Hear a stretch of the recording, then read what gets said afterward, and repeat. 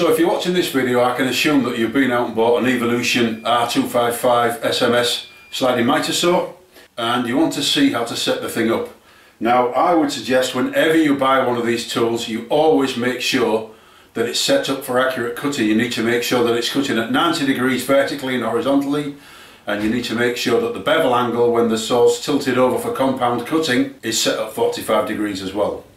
And if you do that then you will get accurate miters from these machines. So the first thing we'll do is check this one to see how it's set up as it's come out of the box.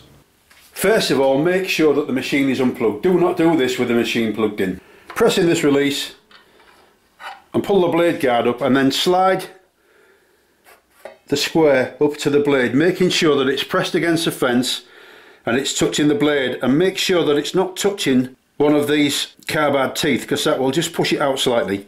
Now as you can see that is flat against the blade all the way along its length so out of the box it's set up to cut 90 degrees perfectly at the fence. If we need to make any adjustments the saw comes with its own tool which is fitted into the base there. You need that and you will also need a 10mm spanner. So what I think I'm going to do is I'm going to make sure that that's not square now so I'll move it away from square so I can show what it looks like when it's not square and then I can show you how to correct it. I don't know how well this is going to come out but we've got a gap at this end now so the corner there is touching the blade and we've got a gap at this end. To adjust the fence we use these four slotted holes. There are two on the left hand side of the saw so if you look in you can see that it's actually a slotted hole there with a set screw and we have two on the right hand side of the saw as well. So we slacken off those set screws, slide the set square along the fence until it's touching the blade and then adjust the fence like so, backwards and forwards until it's at 90 degrees. Come forward very slightly. There, now that is perfect. Tighten the two end set screws. Just make sure that that's not moved. That's still perfect, so you can make sure that all four now are tight. So that's the first adjustment made. The second check is to make sure that the blade is at 90 degrees to the table. So the set square needs to be flat on the table and it needs to be pushed against the blade. It needs to be touching the blade along the full length. Now as that has come out of the box there is a slight gap at the bottom of the blade there. It's touching at the top. It's not far off but it's not quite 90 degrees. The top of the blade needs to go to the right in order to make that square. Before we start making any adjustments on the cutting head, it's a good idea to pull this sliding fence back at the top and that stops this corner here interfering with the blade. So slacken that off and then push that over until it stops. Now the adjustment for that vertical setting is just there. Basically it's just a physical stop between the set screw and this lug just slacken that off like so and that will allow that to adjust now it's very slack because the gap was at the bottom of the blade that means that the top of the blade wants to go that way.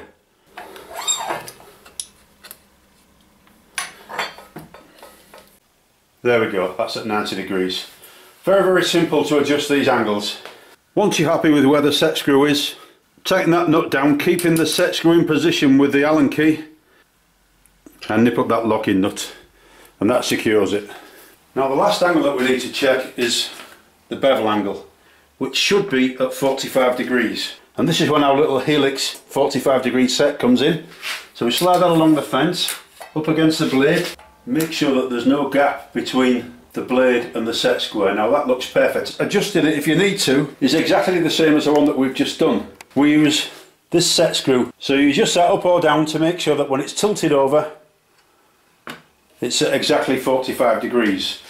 Those are the three angles that you need to check in order to make sure that this miter saw cuts accurately and I reckon you can do it in about 10 minutes. So the very last check that we've got to do is to make sure that the laser is in line with the blade on the saw. So it says in the instruction manual to use card. Now you can actually cut a groove in a piece of wood but card's much easier. What I like to do is to stick it down onto the table, make sure it's pushed against the fence and that stops it from moving when you're working with it. Just cut a groove in the cardboard, don't go all the way through it. And there's a laser at the bottom there coming across. Now you can see that it is not in line with the saw blade. It's across to the left. It's further away from the saw mark at the bottom than it is at the top. So it needs two adjustments. It needs to be moved across to the right and it needs to be placed parallel to the saw line. So to make these adjustments we need a Phillips screwdriver. So if I point the camera at the laser, these two screws, that one and that one, are used for pushing the laser left or right.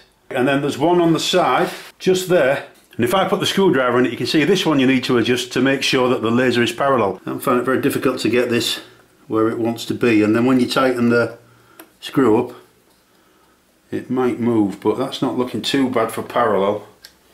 Now I'm going to slide it along. I've pulled off a plastic cap there, I'm not sure whether it's supposed to come off, it came off by accident when I was playing with it, but uh, with the laser much brighter. Now I'm finding it really difficult to line this up. And basically I've lost all sense of which screw is doing which, so what I'm trying to do now is just play about with it to at least try and get it something like just pulled it all out of whack. That's the best that I can do, I can't get it lined up. So my advice would be, unless you're really unhappy with the laser, to leave it how it is. The good thing is that this edge, it's actually in line with where the edge of the saw is going to cut. So that's it, the saw set up to cut accurately now. Now changing the angles is very very simple, you know it's going to take you 10 minutes to sort the three angles out that you need to check and adjust. The laser, well that's a complete nightmare and it's taken me about 20 minutes to get it something like I cannot physically get it to line up with the slot and parallel at the same time. Uh, it's one or the other. So my advice would be, unless you're really not happy with the laser, to leave it as it is. And I really do think that Evolution need to look at another means of adjusting the laser because there must be an easier way of lining it up. So I hope you found that video useful and thank you for watching.